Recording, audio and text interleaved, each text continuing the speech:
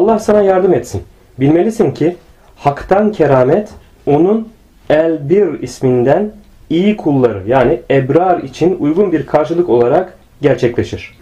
Çünkü münasebet onu gerektirir. Gerçi kerametin üzerinde gözüktüğü kimsenin bir talebi olmayabilir. Kerametler ikiye ayrılır. Duyusal ve manevi kerametler. Sıradan insanlar kerameti düşünceyi okumak, geçmiş, gelecek ve şimdiki zamanda bilinmeyenleri bildirmek, su üzerinde yürümek, havayı yarmak, yeri dürmek, gözlere görünmemek, duaya hemen karşılık vermek gibi duyusal tarzda anlarlar. Başka bir ifadeyle sıradan insanlar kerametleri böyle sayarlar. Manevi kerametler ise Allah'ın seçkin kulları tanır ve bilir. Sıradan insanlar bilemez. Manevi kerametler, esas manevi kerametler şunlardır diyor.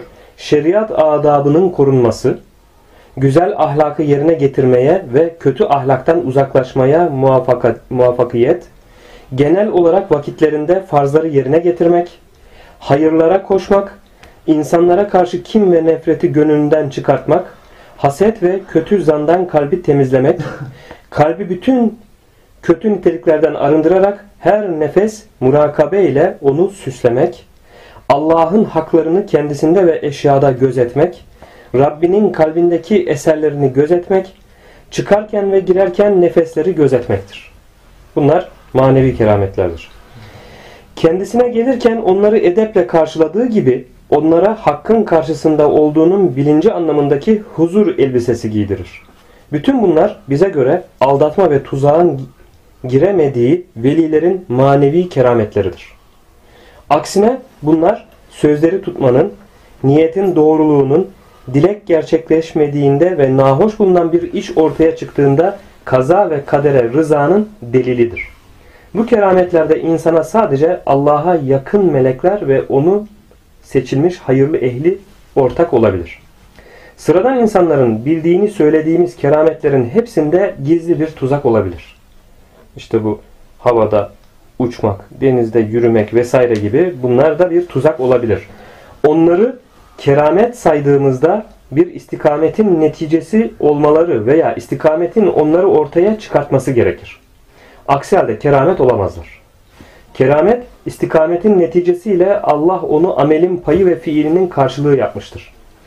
Keramet fiilden önce ise seni ondan dolayı Allah hesaba çekebilir. Gösterilen keramet o fiilden önce ise diyor. O zaman hesaba çekebilir.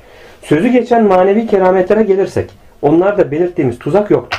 Çünkü bilgi onlara eşlik eder. Bakın bilginin kıymeti bir kez daha ortaya çıkmış oluyor. İlmin, bilginin. Bilginin gücü ve değeri tuzağın keramete girmemesini sağlar. Tabi eğer bir insan bir ilme, bir bilgiye, bu bilgiye sahipse o adeti aşan haller, keramet dediğimiz hallerin nereden kaynaklandığını da görür. İstitraç mı yoksa Allah'ın bir lütfu, vergisi mi? Çünkü havada uçmaya bugün başka e, gayrimüslimlerde de zuhur eden bir olay. Suda yürümek, havada uçmak. Bunlar onlar için istitraç oluyor. Şeytan Allahu Teala'nın kurmuş olduğu bir tuzaktır. Şeytanın oyunuyla, şeytanın dahliyle açığa çıkan hareketlerdir bunlar. Ama kişide bilgi sahibi olursa, bir ilim olursa bu karşılaştığı olağanüstü hallerin, bu kerametlerin istitraç mı yoksa Allah'ın bir lütfundan kaynaklanan durum mu olduğunu da görür. Bilginin gücü ve değeri tuzağın keramete girmemesini sağlar.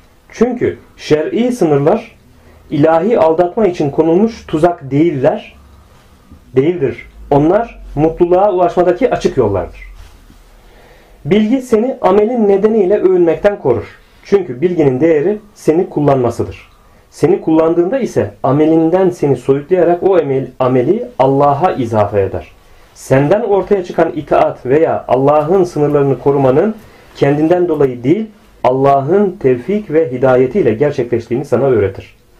Sıradan insanların kerametlerinden biri ortaya çıktığında bilgili insan bundan Allah'a sığınır ve alışkanlıklar vasıtasıyla böyle kerametlerden gizlenmek ister. Bilgiden başka parmakla gösterilecek şekilde sıradan insanlardan ayrışacağı bir özelliğin kalmamasını diler. Çünkü bilgi istenilen şeydir ve bütün yararlar onun sayesinde gerçekleşir. Bilgisiyle amel etmese bile bilenler ile bilmeyenler eşit değildir. Öyleyse bilenler gerçek ile yanlışı karıştırmazlar. Allah'ın kullarına yönelik kerameti hakkın onlardaki yüzünü göremedikleri için yaratıklardan ve kendilerinden soyutlanarak Allah'a yönelenler için gerçekleşir. Allah'ın onlara ihsan ettiği en büyük keramet bilhassa bilgidir. Çünkü dünya bilginin yeridir. Bunun dışındaki harikulade olaylara gelirsek dünya onların yeri değildir. Öyle bir şeyin keramet olması Allah'ın bildirmesiyle mümkündür. Yoksa kendisi nedeniyle keramet olamaz. Bir şey Allah'ın bildirmesiyle keramet ise buradaki keramet de bilgi demektir. O halde Hakk'ın kullarına dönük kerameti onlara ihsan ettiği bilgidir. Ebu Yezid'e yeryüzünün dürülmesi sorulunca şöyle demiş. Bu da ne ki? İblis bile bir anda doğudan batıya gidebilir. Halbuki onun Allah nezdinde hiçbir değeri yoktur. Havanın yarılması sorulunca şöyle demiş. Kuşlar havayı yarıp geçer. Mümin Allah'ın nezdinde kuşlardan üstündür. Öyleyse kuşların ortak olduğu bir iş nasıl keramet sayılır? Bütün zikrettiğimiz şeylere böyle nedenler gösterdikten sonra şöyle demiştir. İlahi, bir topluluk seni talep etmektedir. Taleplerini zikrettiklerinde sen onları meşgul ettin ve kendilerini söylediklerine ehil yaptın. Allah'ım, beni bir şeye ehil yaptığında sana ait şeylerden birisine ehil yap. Burada Ebu Yezid bilgiyi dilemiştir. Bilgi en büyük hediye ve en üstün keramettir. Aleyhine delil bilgiyle ortaya çıksa bile suçunu itiraf etmeni sağlayan ve Allah'a karşı delil getirmeni engelleyen de bilgidir. Çünkü sen lehinde olanı, aleyhinde olanı ve Allah'a ait olanı bilgi sayesinde bilirsin. Allah peygamberine sadece bilginin fazlasını istemesini emretti. Çünkü bütün iyilik bilgidedir. Ayette geçiyor ya Rabbim ilmimi arttır de. Binaenaleyh bilgi en büyük keramettir. Bilgi var iken amel yapmamak, amel yaparken bilgisiz olmaktan iyidir.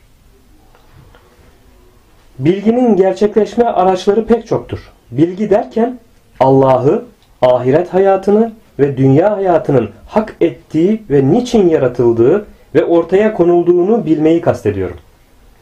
Acaba dünya niçin yaratılmıştır? Bu bilgi sayesinde insan bulunduğu her yerde bir basiret kazanarak kendisini ve hareketlerini bütünüyle bilir. Bilgi kuşatıcı ve ilahi bir nitelik, Allah'ın en üstün ihsanıdır. Allah ona katımızdan bizden bir rahmet olarak bilgi verdik buyurur. Bilmelisin ki bilgi rahmet kaynağındandır. Sana kerametin mahiyetini ve sana Allah'ın hediye ettiği şeyin onun bildirimiyle keramet olabileceğini söyledik. Bu keramet ahiretteki nasibini eksiltmeyeceği gibi amelinden bir şeyin karşılığı da değildir. O sadece senin hakka gelişin için bir hediyedir. Çünkü ona gelmen onu bilmeyişinden kaynaklanır. Çünkü sen onu ilk adımında görememişsindir. Ebu Yezid hakkı aramak uğruna Bestam'dan ilk çıktığında Beyazıt Bestami denilir ya Bestamlı Beyazıt diye Bestam'dan ilk çıktığında böyle bir halle karşılaşmış. Bir adam karşısına çıkarak ne arıyorsun demiş. Ebu Yezid Allah'ı deyince adam aradığını Bestam'da bırakmışsın demiş. Bunun üzerine Ebu Yezid onun nasıl arayacağının farkına varmış. Bu durum her neredeyseniz o sizinle beraberdir ayetinde dile getirilir. Öyleyse ne bilgi var ne iman. Allah seni kendisini müşahadenin bilgisinden mahrum bırakırsa ona imandan daha azı yoktur burada. Bu nedenle ona gelen bilgisizliğinden dolayı ona gelmiştir. Bu grubun yani sufilerin bütün niyetleri Allah'a yönelmiştir ve onu ararlar. Onlar Allah'a yönelmiş, Allah ise onlara dilediği ihsanları vermiş, bunun da özellikle konukluk hediyesi olduğunu bildirmiştir. Allah'ın bildirmesiyle bunu öğrenme, öğrenem Allah'ın bildirmesiyle bunu öğrenmedikleri sürece bu konuda hakkın tuzağından ya da ahiretteki paylarının eksilmesinden korkulur. Böyle bir durumda ahirette keşke dünyada kendilerine hiçbir şey verilmemiş olsaydı diye temenni ederler.